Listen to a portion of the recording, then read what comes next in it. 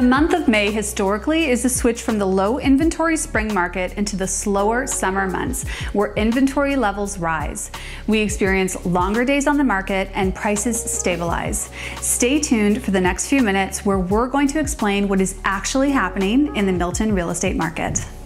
With average sale prices in Milton being flat over last month, we are seeing the average price for a Milton home sitting at 1,117,000. The average days on market has decreased to 13 days from listing to a sale, making it quicker to sell your home last month, and the list to sale ratio has increased to 106%, meaning on average buyers were paying 6% more than the listed price for the month of May, which is up 5% from the previous month. We have seen a noticeable shift from the first half of May to the second, specifically in the townhouse and semi-detached market segment.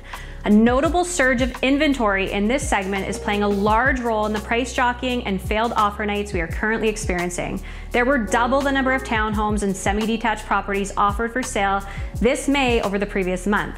The increase of supply has shifted this segment of the market. We've seen many properties in this category that are being positioned for multiple offers by listing artificially low, and the offer night doesn't go as they had hoped. Some properties are not receiving any offers at all on offer night, or they're simply not reaching the seller's expectations. With the sharp increase of inventory, buyers now have choice again, and many homes that are holding offers on the same day are splitting the buyer pool even further, resulting in sellers not consistently achieving the results they once were. They are then forced to switch gears and are relisting the property at a higher price and choosing a different pricing strategy. In a shifting market, it's exceptionally important to be working with someone that knows the market and can identify the shifts, pricing strategy, and current demand in any market segments, giving you the advantage over other buyers and sellers. The condo apartment market segment and detached segment of the market have remained consistent over the last month and much more predictable, giving buyers and sellers much more confidence. The average price for a condo apartment in Milton is sitting at 650,000, which is flat over last month.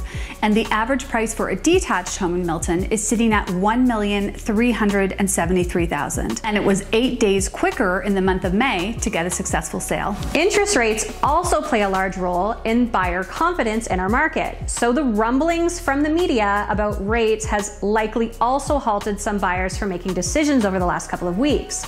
The Bank of Canada's scheduled meeting on June 7th did in fact result in an increase of the overnight lending rate, which is now sitting at 4.75%. If you have a variable rate mortgage product or home line plan, your payments now have once again gone up.